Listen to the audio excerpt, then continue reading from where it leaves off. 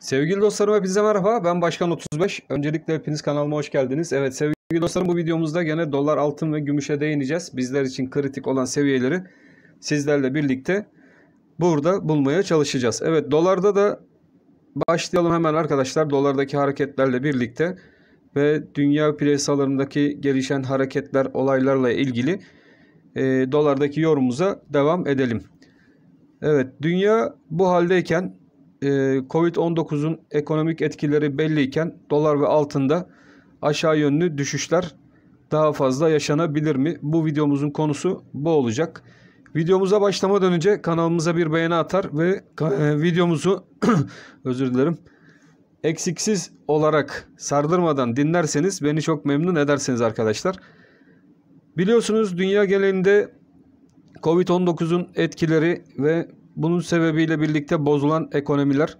Ee, şimdi bu ekonomiler üzerinde herhangi bir düzelme görülüyor mu? Veya ülkemizde bununla ilgili herhangi bir düzelme görülüyor mu? Bugün itibariyle e, baktığımız zaman çarşı pazar gezdiğimiz zaman e, şu an ülkemizde özellikle enflasyonist baskının henüz aşağı yönlü e, ivmelenmediğini görmekteyiz arkadaşlar.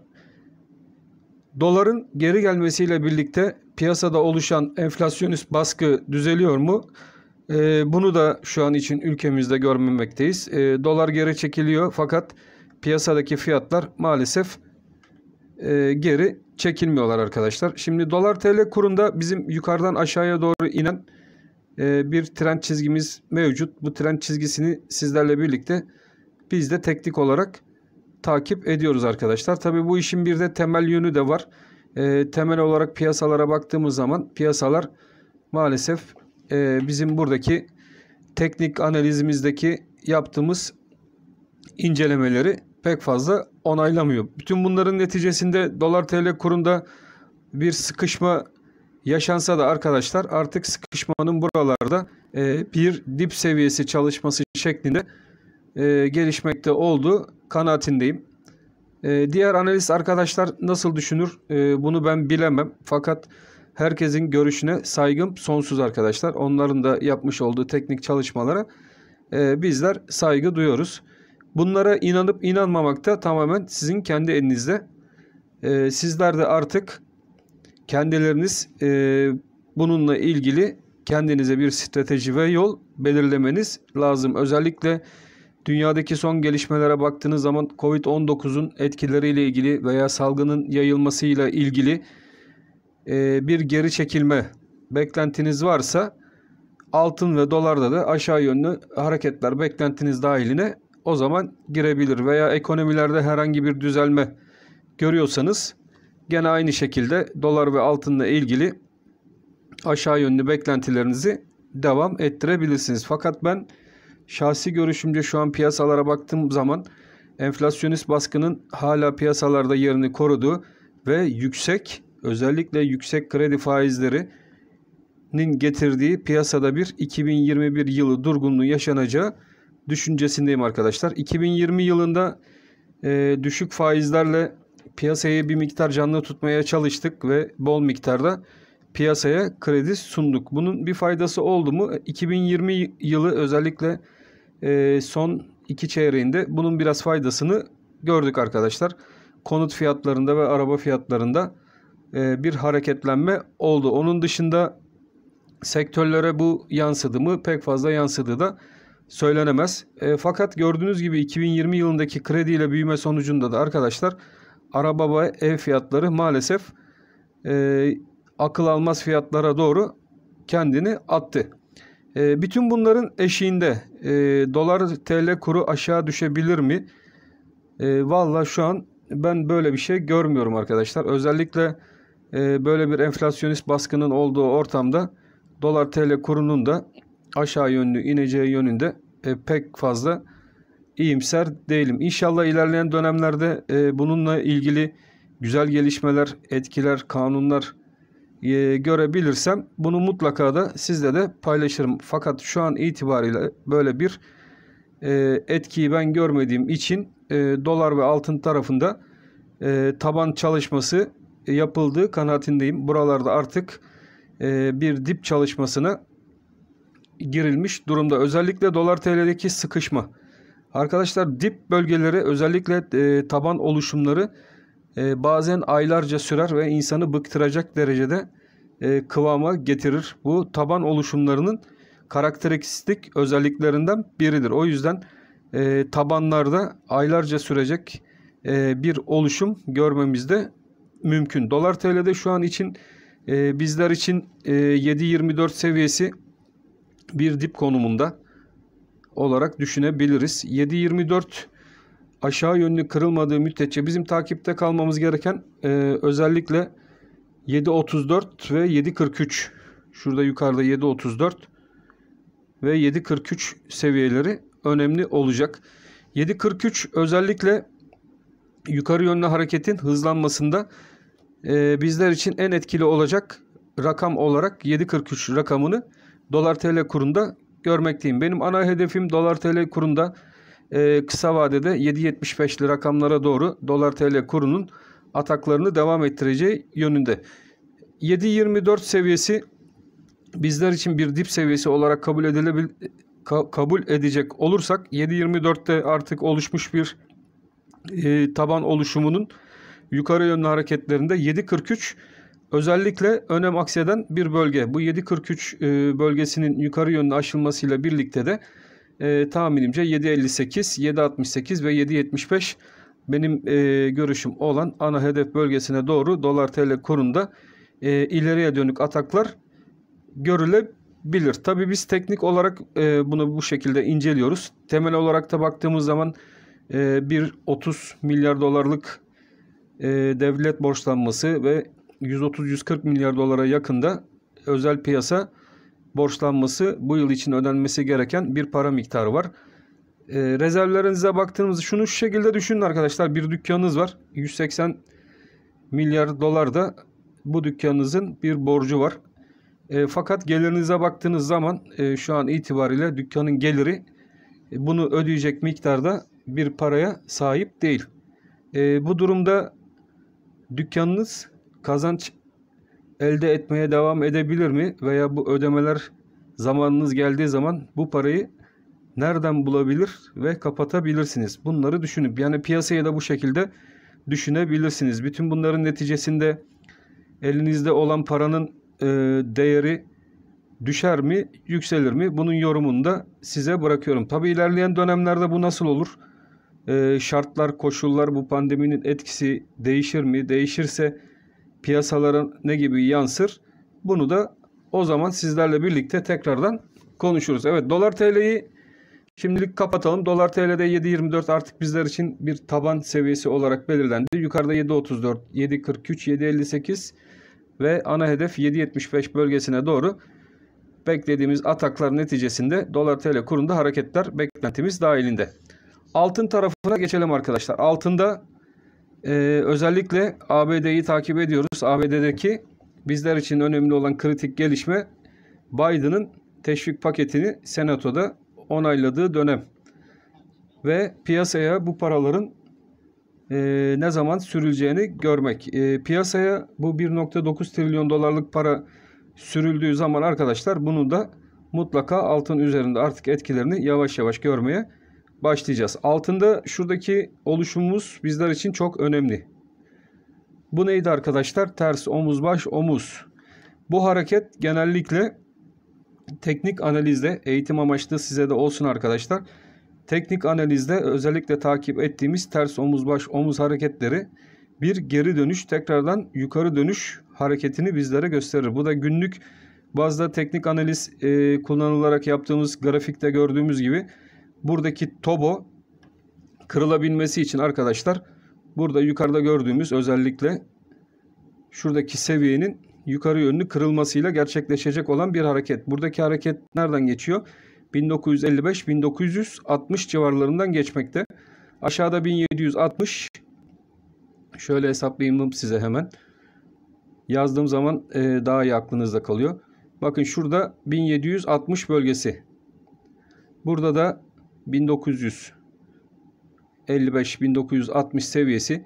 Bu seviye yukarı yönlü kırılmaya başladığı zaman burada bir 200 dolarlık altının ons tarafında bir marj var arkadaşlar. Şuradaki aralıktaki marj tam 200 dolara denk gelen bir marj. Teknik analiz olarak tobalarda buradaki marjı kırılımlarda yukarı koymanız gerekli. Çünkü teknik olarak e, bizlere bu bu şekilde e, gereksinim göstermekte. 1960'ın üstüne bir 100 dolar koyduğunuz zaman bu ne var? 2060 dolar.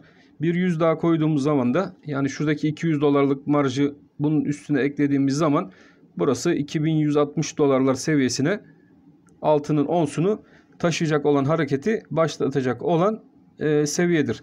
Tabi teknik analizde her zaman e, bu formasyonlar çalışacak diye herhangi bir kaydede yoktur arkadaşlar. Bunların da gene kıstasları bellidir. Şuradaki 1760 altında bir kapanış e, görürsek eğer altının ons tarafında şuradaki 1760 seviyesinin altında bir kapanış görürsek e, o zaman bizim bu toba oluşumumuz çöp olur. O yüzden buradaki 1760 seviyesi e, bizler için önemli olacak kritik e, bir öneme sahip rakam 1760 rakamı. ABD'de e, 1.9 trilyonluk bu teşvik paketinin çıkartılması ve piyasaya sürülmesiyle birlikte e, bu paranın da özellikle altın tarafına da yansıyıp buradaki toboyu yukarı yönlü kırma ihtimali de oldukça fazla arkadaşlar. Gram altın tarafına da geçelim hemen gram altındaki fiyatlamalara bakalım. Gram altında bizler için özellikle 434 seviyesi 430 seviyesi artık bir ne dedik taban çalışmasının yapıldığı bir alan. Buradaki e, taban çalışmasının bizlere yansıyacak olan kısmı özellikle 430 altına inilmedikçe e, burada da gene yukarıda hareketlerin e, sıkışma gösterdiği ve bizim de uzun zamandır buradaki sıkışmada takip ettiğimiz arkadaşlar şu 430 taban bölgesinde takip ettiğimiz 449 bölgesi.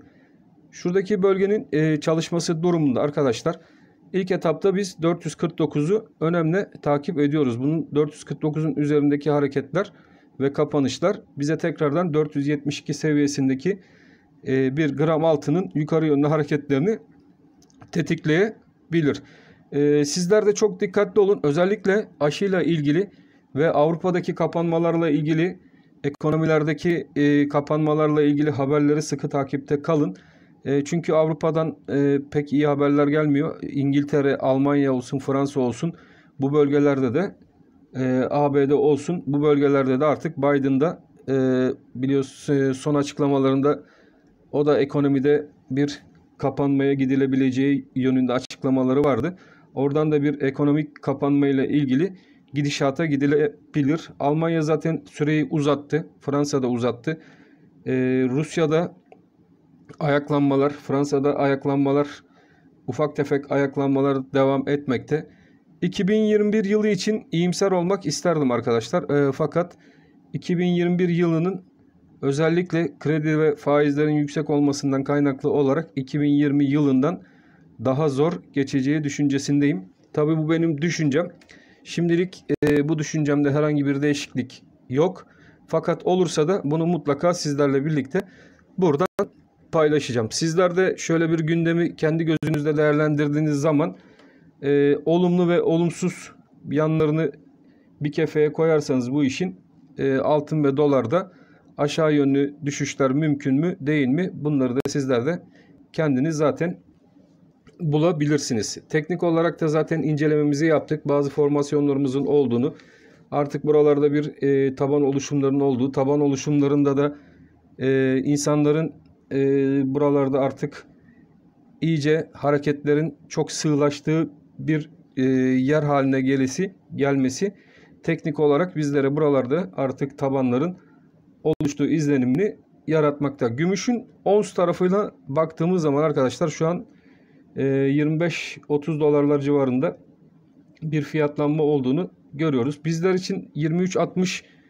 önemli bir destek ve taban bölgesi olarak gördüğümüz bölge. Gümüşün ons tarafında. Yukarıda 24.53 gene bizler için önemli bir destek.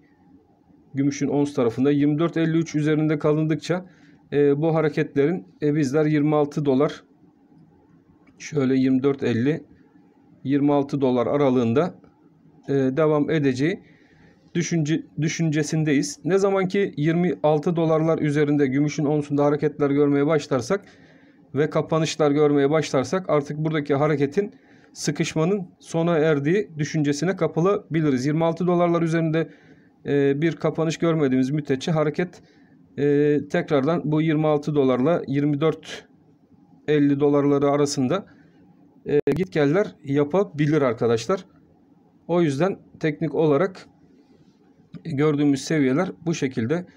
Gümüş gram tarafına gene baktığımız zaman gümüş gramda bizler için 5.82 e, önemli bir dip seviyemiz. Artık burayı biz 5.82'yi bir taban seviyesi olarak görüyoruz. Bunun üzerinde 6 önemli bir desteğimiz ve 6.31 hareketlerin kısa vadede bu şekilde e, bu formasyonlar bu destek ve dirençler arasında gitgeller yapabileceği e, tahminlerimiz arasında. Burada da gene gümüşün gramında da yukarı yönlü hareketlerin görebilmemiz ve tekrardan 6.80'li 7 dolar seviyelerine de gidebilmemiz için buradaki taban oluşumunun 6.31 civarından yukarı yönlü kırılması şart. Ne zaman bu 6.31 civarlarından yukarı yönlü bir kırılım ve kapanışlar görmeye başlarsak e, gümüşün gram tarafında da tekrardan 6.80 ve 7.11 civarlarına doğru ataklar görmemiz mümkün. Piyasalar e, dediğim gibi arkadaşlar bazen çok sıkışabilir, insanları daraltabilir, bunaltabilir. O yüzden e, teknik analizde de bazı seviyeler vardır. Özellikle taban oluşumları yani dip oluşumları e, uzun zamanlar alabilir. Çünkü buralardan maliyetlenme yapacak firmalar ve insanlar mutlaka olur ve bunların neticesinde de malını satmayan, buralardan mal satmak istemeyen insanlar da olacağından dolayı bir miktar taban oluşumlarında e, sıkıcı ve boğucu hareketler yaşanması normal. Zaten bu sıkıcı ve boğucu hareketlerin e, uzun süre yaşanması bizde buralarda artık bir taban seviyelerinin oluştuğu yatırım tavsiyesi olmama koşuluyla da artık bu seviyelerin bir daha görülebilemeyeceği e, anlamını da taşıyabilir. O yüzden en son verdiğim destek noktalarımız çok önemli. Bu destek noktaları arasında hareketlerin devamı ve gelecek haber akışlarına dayalı olarak da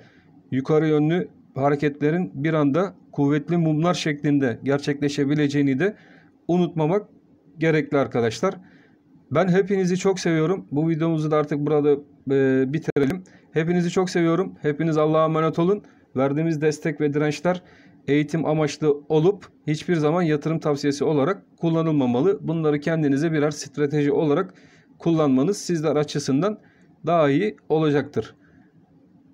Hoşçakalın arkadaşlar. Görüşmek üzere.